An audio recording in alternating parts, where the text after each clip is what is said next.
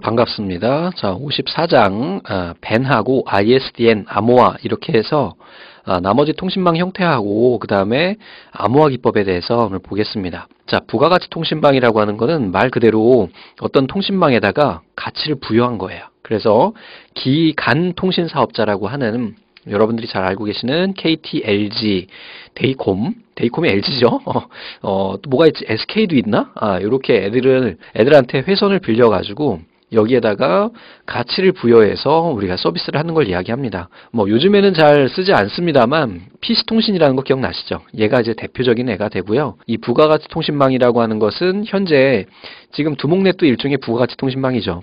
어, 인터넷망을 빌려가지고 이런 강의를 서비스하고 있으니까요. 자, 벤의 기능에는 우선은 전송 기능, 교환 기능, 통신 처리 기능, 정보 처리 기능 이렇게 종류를 그냥 기억하시고요.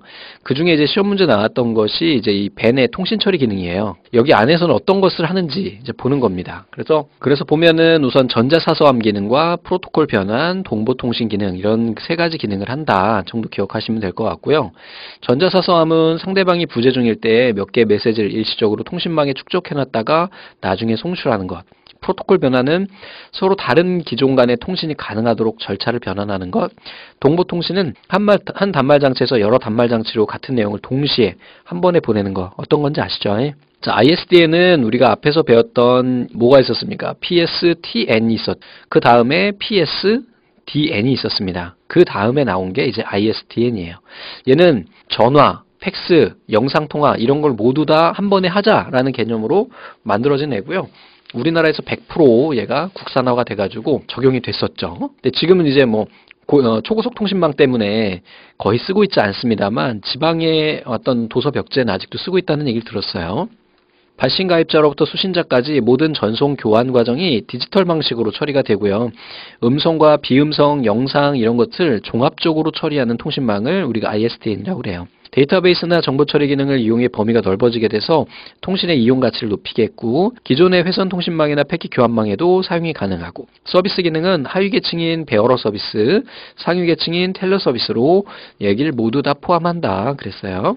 자, 다음에 ISDN 채널 접속 규격이 나오는데요. 이제 크게 두 가지로 있어요. 그래서 기본 속도 인터페이스인 BRI하고 1차군 속도인 PRI가 있습니다. 시험 문제에는 아, 두 가지가 다 출제가 된 적이 있어요.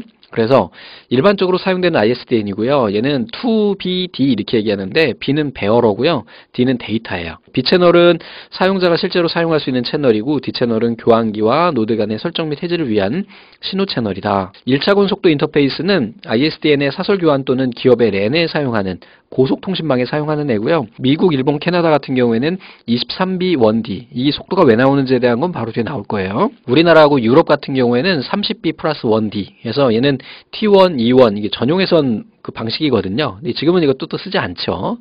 아, 이런 것이고 64kbps의 속도에 23개 또는 30개의 통신 채널을 통합해가지고 기본 인터페이스보다 빠른 속도의 한개 신호 채널로 구성을 한다. 그래서 우리가 우리나라의 기본 BRI, 이게 이제 시험 문제 출제된 적이 있는데 우리가 이 bearer 채널이 채널마다 비트 수가 있어요. 속도가 있는데 얘가 64kbps예요. 그래서 2B니까 이게 128이 나오고요.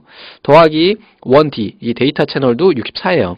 그래서 우리나라의 기본 이 BRI는 192kbps였습니다. 이렇게 된다는 거. 이거 시험 문제 나온 적 있습니다. 하도 예전에 나와가지고 어, ISN에 이제 채널이 나옵니다. 그래서 이 B라고 하는 거는 얘는 베어러 실제로 신호를 날르는 애예요. 그래서 얘는 정보 채널, 얘는 데이터 해가지고 신호 채널이고요.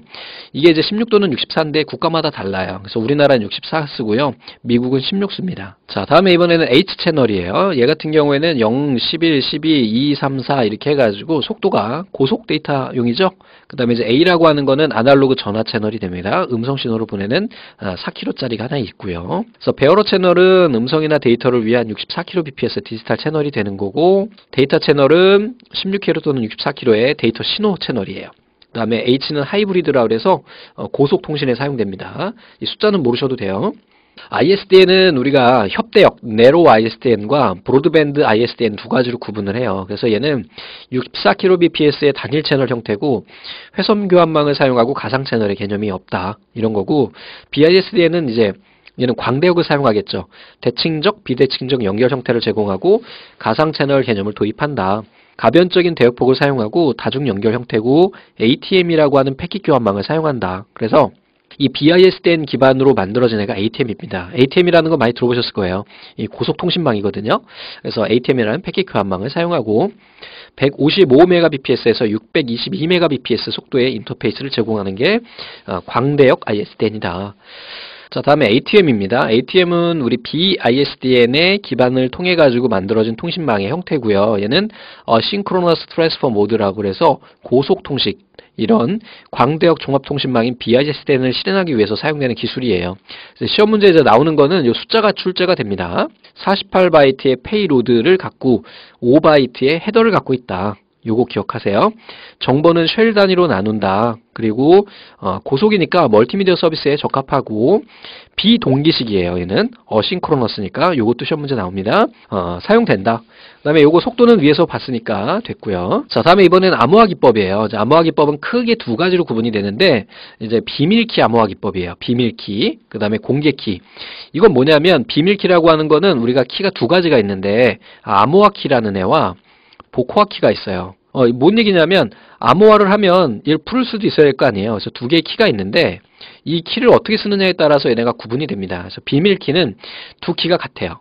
공개 키는요 서로 달라요. 그럼 이름은 왜 생겼을까? 자, 암호화 키와 복호화 키가 같다면 어떤 애가 암호화 키나 혹은 복호화 키 하나만 알면 이 암호화는 없어지겠죠. 그러니까 완전히 불능이잖아요. 기능을 할 수 없잖아요. 그래서 비밀키 암호화 키는 암호화 키와 복호화 키가 같으니까 얘네를 하나를 이 키를 그 누구도 알 수 없게 비밀로 하는 거예요.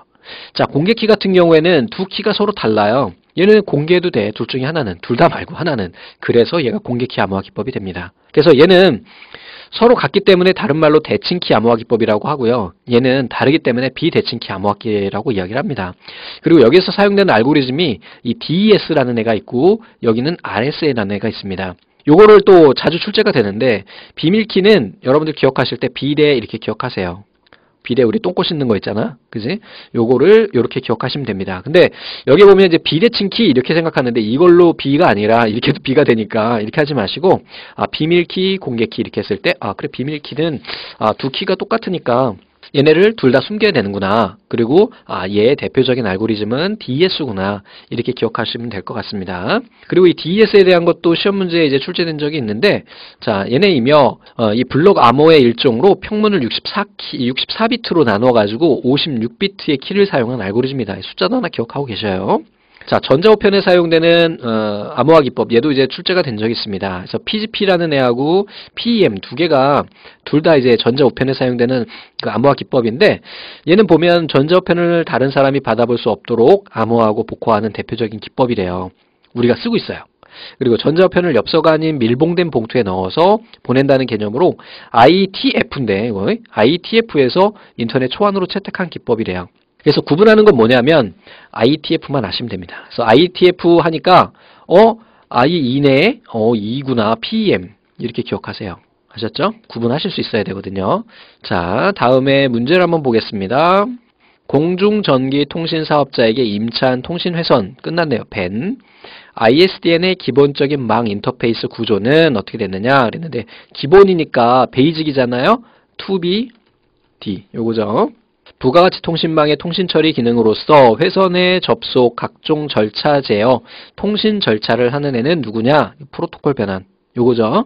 광계, 광대역 종합정보통신망인 BISDN에 관련이 없는 것은 ATM 방식이고 아니죠. 광전송 멀티미디어. 2번이 답이 되겠네요. 다음 중 어, ATM에 대한 설명으로 틀린 것은 48 payload 5바이트 header 멀티미디어 서비스 동기식이 아니라 비동기식이라고 그랬죠? 기억하시기 바랍니다. 그래서 여기까지 해가지고 살펴봤습니다. 감사합니다.